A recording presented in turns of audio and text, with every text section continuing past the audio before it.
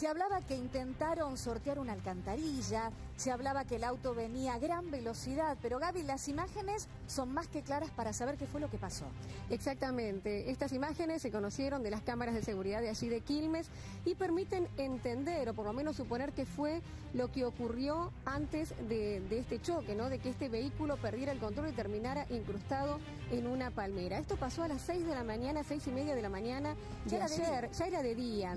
había seis personas a bordo de ese auto, cuatro terminaron perdiendo la vida y dos están graves, ¿no? Internados, uno en una situación más comprometida, el hombre, y la chica con fracturas expuestas en las piernas.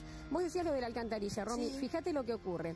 El auto pierde el control en el momento que toca el llamado pianito, ¿no? Que divide los dos carriles de la avenida San Martín y los Andes, ahí muy cerca de la estación Don Bosco.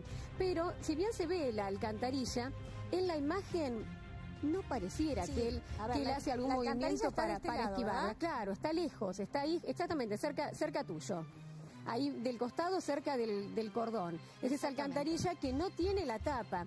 ¿Qué es lo que dicen los vecinos? Que esta situación está así y es un peligro desde hace más de un mes, que ellos mismos le ponen arriba en ramas, objetos para que la gente... generalmente se le atraviesa un tronco. Claro, para que la gente lo vea y no termine cayendo ahí. Y lo que ellos decían, pudo haber querido esquivar esto y por eso perdió el control. Sin embargo, la imagen, bueno, se ve que pasa lejos de esa alcantarilla a gran velocidad. Eh, no estaba señalizada la alcantarilla como para que él pudiera haberlo visto y lo haya intentado esquivar. ¿eh? La imagen es tremenda. Y, y, fíjate lo que había en el interior del vehículo, y esto es lo que están analizando los investigadores para ver si el conductor estaba alcoholizado, porque encontraron muchas botellas de bebidas alcohólicas que estaban allí en el interior de ese auto, un Renault Clio, un auto pequeño en el que había viajando seis personas, más de lo permitido, iban cuatro en el asiento de atrás. Los primeros en morir son el conductor, un joven de 26 años, policía, él estaba de licencia, y una de las chicas que viajaba en el asiento de atrás. Al correr de las horas murió el acompañante, también murió otro joven a la tarde, y como decíamos, hay dos más, todos muy jóvenes. Fíjate, ahí está en la, alcantarilla y se ve como en esta situación que los vecinos tratan de señalizarla, pero está muy lejos del lugar en donde termina mordiendo ese, ese pianito. Realmente esto va a ser difícil de determinar, ¿no? Si él llegó a verlo y quiso esquivarlo, venía, venía, venía fuerte, ¿no? Por lo que se ve en la imagen. ¿Te parece? Escuchamos a algunos de los vecinos que hablaban justamente de esto, de las condiciones en las que se transita por allí, por esa avenida, y esto nos contaba y después seguimos hablando. Dale. Yo vivo acá. Un... Estado ausente, hay una comunidad presente. Sí, igual, a ver, si venía a alta velocidad y venía alcoholizado, reductor de velocidad, semáforo en rojo, nada va a hacer que no haya terminado como terminó. Sí, lo que recalcan los vecinos es esta situación porque dicen que, esto pasa todo el tiempo, sobre todo los fines de semana, van a mucha velocidad y esto podría haber sido todavía peor, ¿no? Si había alguien transitando por la vereda. Entonces no solo está en peligro el, que maneja o las personas que van en auto, sino también los propios vecinos de la zona porque esto puede terminar todavía peor de lo que terminó, que fue una tragedia. Gracias, Gaby. Sigue Florencia.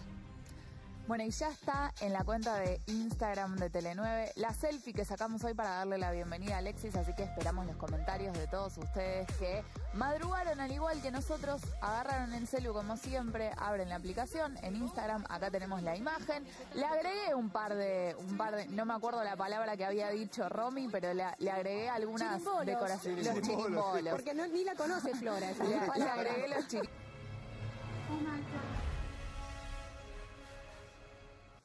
Cyber Monday se vienen las ofertas y ya queremos desde tempranito empezar a ver todo. ¿Qué es lo que podemos ver? Si quiero ver, por ejemplo, para las vacaciones. Todo, ¿ya todo, se puede ver? todo porque están todas las categorías, ya están bien determinadas.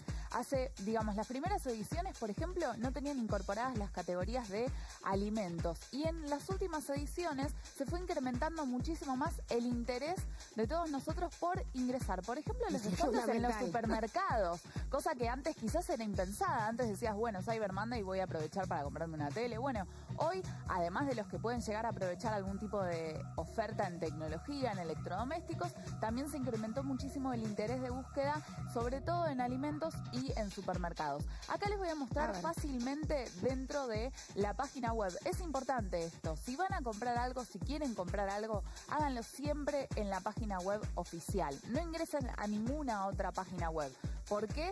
Porque otra página web no te puede garantizar que, por ejemplo, esa empresa o esa marca forme parte realmente del Cyber Monday. Y hoy todos estamos recibiendo un montón de mails de, páginas que no sabemos ni, ni, qué son. Por eso, Porque lo mismo se a tener así como que tenemos que poner nuestra información personal y sobre todo, eh, por ejemplo, la tarjeta de crédito, porque vamos a hacer una compra online, tenemos que tener en cuenta estas cosas. Así que es importante ingresar a la página oficial del Cyber Monday y ahí vamos a tener todas las categorías de las cosas que nosotros querramos comprar. Y como les decía antes, después les voy a mostrar, hay una sección especial con tips y consejos para que tengamos en cuenta. Dale, voy mirando. Gracias, Flor. Bueno, estamos a las 7.38 con 21 grados, está calurosa la mañana, inestable, pesadita.